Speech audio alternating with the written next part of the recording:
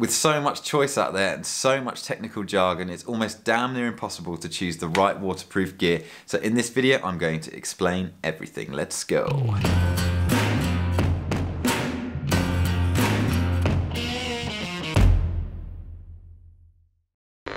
Hello fellow hiker and long-term world traveller, Russ here bringing you the best tips and inspiration for hiking around the world. Okay, so I've been doing an absolute ton of research on waterproof gear and it's really confusing when it comes to choosing the right gear for you. Questions like how waterproof is a jacket? How can I even tell how waterproof something even is? What are the tests that this waterproof gear goes through and what is a waterproof test even called? And what level of waterproofing do I need for my adventures? These are all questions that spring to mind. So let's go over this. I mean, it's a really interesting topic and uh, it's actually quite simple. So how waterproof is a piece of gear? So when you go to a website to purchase your new item of waterproof gear, you're usually presented with something that looks like this from Patagonia's website or something that looks like this from Zpacks' website. But what on earth do those big numbers mean? I mean, what is 20,000 millimeters actually standing for? Is it 20,000 millimeters of rain before this stuff stops being waterproof? Or is it 20,000 meters below the surface of water that it can put up with?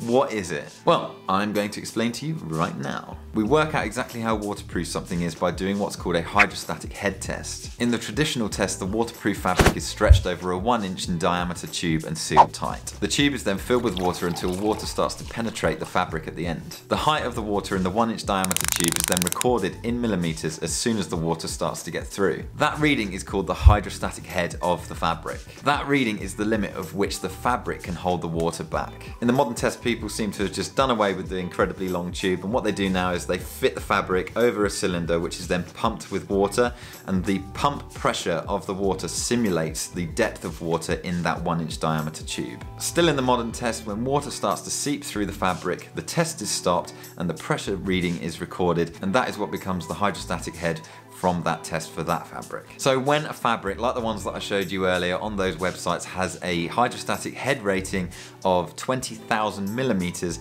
it basically means you're going to need a 20 meter long one inch diameter tube to be filled with water in order to get through that fabric. And that is a lot of water and that is incredibly waterproof. The highest waterproof rating that any fabric can get or the highest hydrostatic head that any fabric can get is more than 20,000 millimeters. You'll always see it written as more than 20,000 millimeters because that is considered the most waterproof that a fabric can get and anything above that I don't think they even bother uh, taking the reading. I think it's more common to use this this modern test now because it's much more convenient and much less space is taken up by using a 20,000 millimeter long tube. So that's how fabrics are tested. Now, how on earth does this relate to hiking out in the rain? Surely it's not exactly the same test. I mean, we don't all walk around with 20 meter tall tubes coming at us filled with water. It just doesn't work like that out in the field. Okay, so this is an incredibly fair test to do because most of the fabrics that we use for our backpacking gear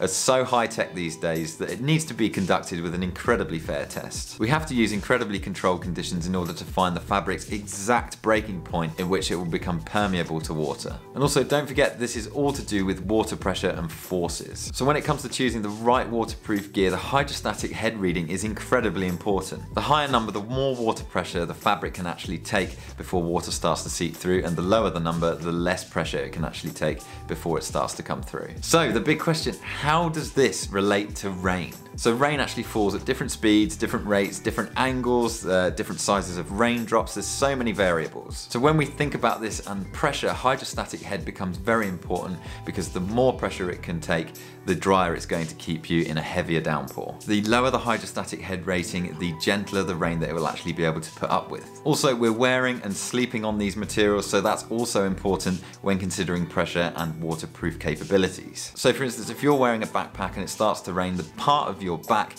where the backpack is starting to make most contact is actually going to generate more pressure against your back and the water in between you and the backpack. Also, if you're sleeping in a tent and the ground sheet has a much lower hydrostatic head rating, then the less pressure it's going to be able to take and the more likely it is that the water is going to start seeping through. The UK bylaw requires all gear that's said to be waterproof to have a hydrostatic head rating of 1000 millimeters or 1 meter at the time of sale before they can even call it waterproof.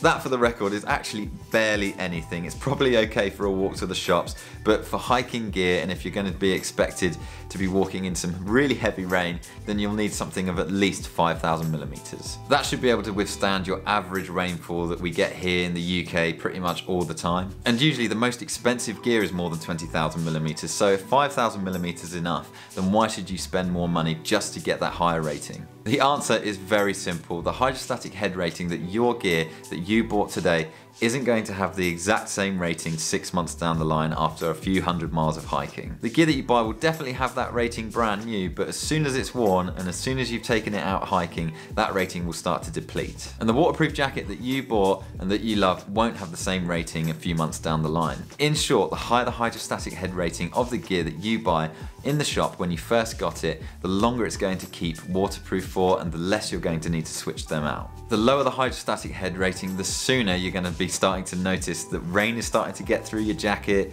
your tent's starting to get wet on the inside, you're to need some kind of like pack liner for your waterproof backpack. So it's a really important thing to consider. All of the facts are there. I've done so much research on this. Hydrostatic head it's a very important yet very simple concept. Okay, campfire question. What waterproof rating does your gear have? Uh, let us know in the comments section below. We'd really love to know and let us know how you've got on with it. How long has it lasted? Is it waterproof still? How long have you had it? We'd really love to hear from you. Okay, thank you very much for watching this video. I hope you found it useful.